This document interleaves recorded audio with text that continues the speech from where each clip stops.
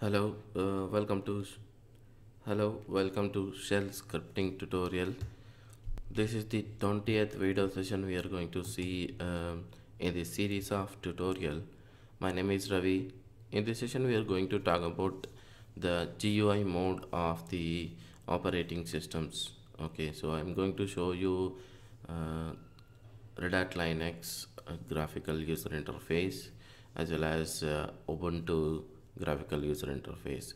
So any of the application we can use, sorry, any of the operating system we can use for this shell scripting, but uh, if we use a different one, so like uh, Red Hat Linux or Ubuntu, few of the options may be differ. Some of the commands may not work in that, may not work, may not work in this may work may not work on the different operating systems okay so let's see here. The first one is uh, here I have uh, Red Hat Linux operating system. So basically if you see in a Windows operating system what happens here it is it will be like um, your menu start menu will be here right?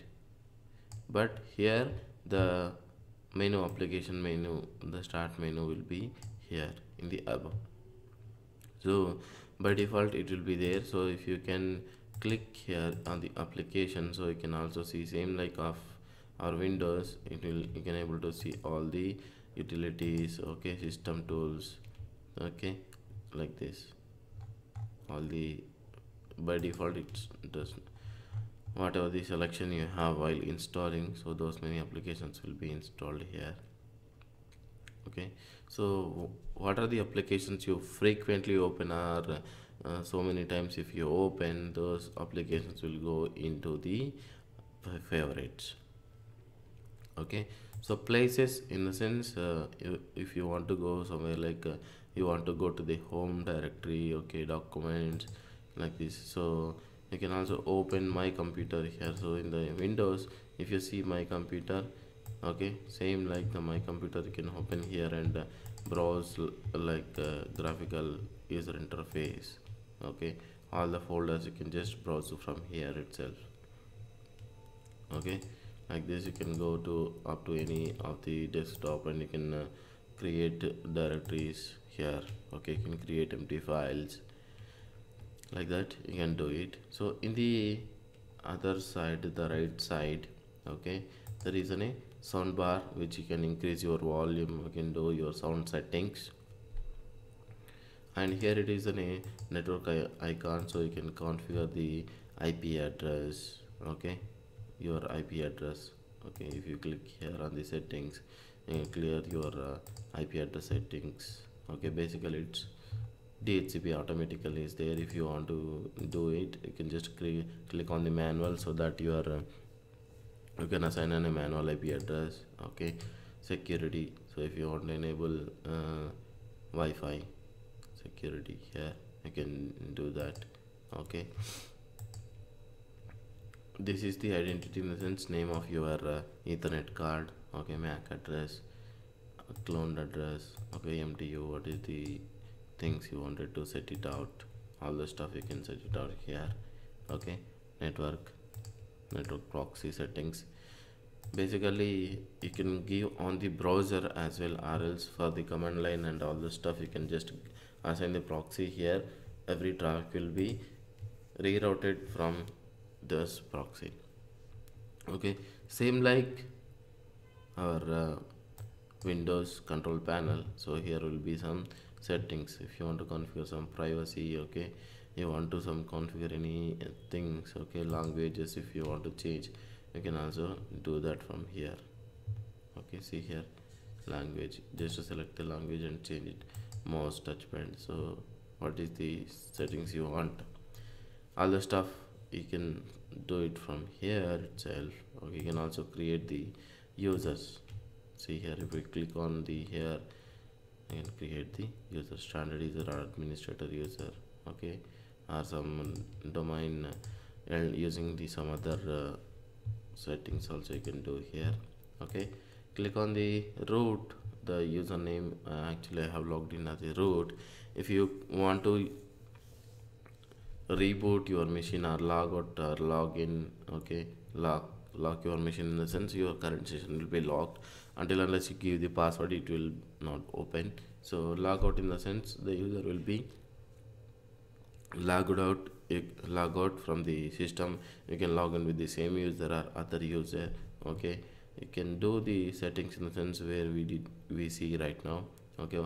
Power off power off in the sense it will give you the restart power off all these options okay? You can do anything here okay? Click on restart it will restart your machine. Power off in the sense it will power off okay?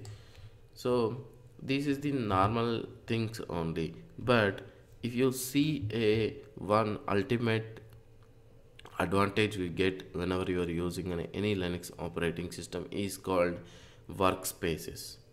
Okay? What does mean by workspaces? Here it is. From the single screen you can open any multiple desktops and work on the multiple uh, applications in the same time. Okay? Here are the four workspaces you have okay? Suppose say if i open one terminal here and type one okay? I opened this one in the workspace one and you can switch back from workspace 2 okay? You can also open one more terminal here and type 2 so this one i have opened into the workspace 2 okay? You can also go to the workspace 3 and you can open one more terminal and you can see 3 okay you can go to the workspace 4 you can also open one more application. It's 4 so if you are running any uh, kind of uh, simulation stuff or which job can take more time okay or you don't want to disturb that uh, sessions to be uh, continuously running then what you can do here it is the big advantage. You can just go to the different workspace and initiate your job and come back to the other workspace and you can work your job continuation so that it will give you a more productivity to your things okay? Like that you can open an n number of applications on the different different workspaces and work on it okay? Like this you can simply switch to your multiple desktop but whereas if you go with the windows you did not get this option. There is only single desktop you have to work that's it. Okay? So here you will get an this advantage.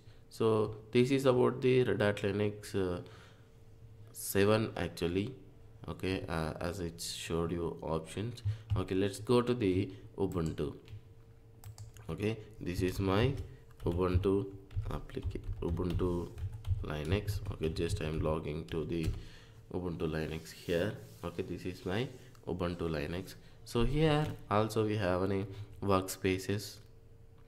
See here these are the workspaces. You can switch back from here to here or here to here okay like that. But these workspaces by default is disabled mode. So when you go to the settings okay system settings here and click on the appearance okay behavior. So here you have to click on the enable workspaces. See if you disable this one there is a icon is went off. If you click on this one the icon is coming like workspaces switcher. Okay? So by default it will be hidden mode. So you have to enable that workspace in the ubuntu operating system then only you can able to see the multiple this one workspaces switcher.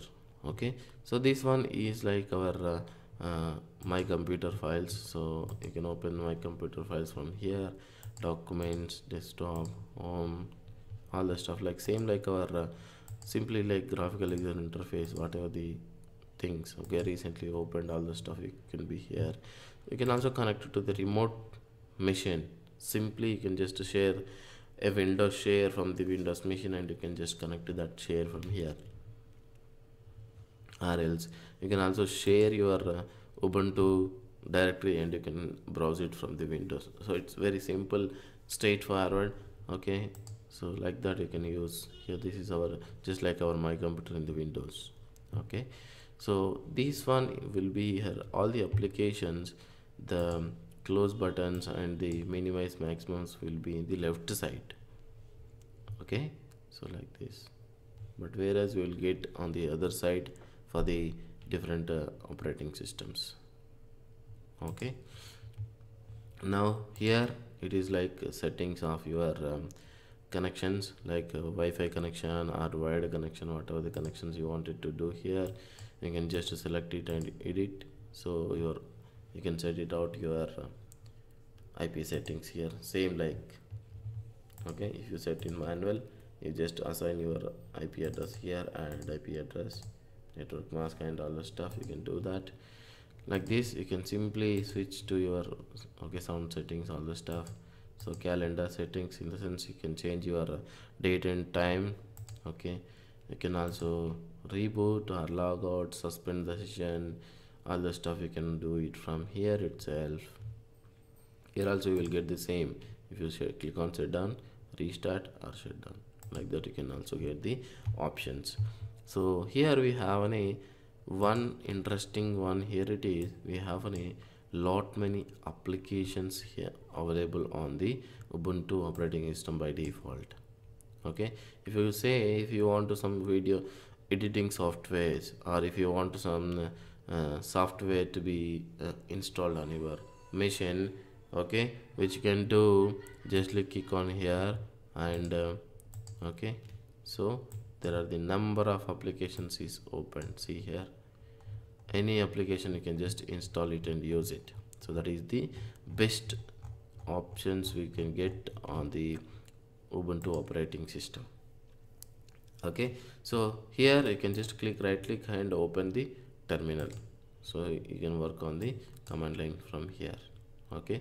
You can also pin any applications here. Okay see suppose just i unlocked it so it went off. If i open in a terminal and right click here and lock the launcher so that if I close this one but still my terminal icon will be here in the sense same like pin your any applications to the taskbar. So by default they will give the um, office okay like uh, excel uh, the powerpoint presentation something like uh, it will be different. But same like your excel sheet libreoffice so it will be completely free. You don't need to pay for it. Like that. There are a number of applications available on this. See here. So a number of applications available on the ubuntu by by freely. You can just use it on the graphical user interface. Or you can also use command line interface for basically i can say if you are a just fresher or the just learner starting the learning on your uh, Ubuntu or the Linux so you can just use this Ubuntu operating system.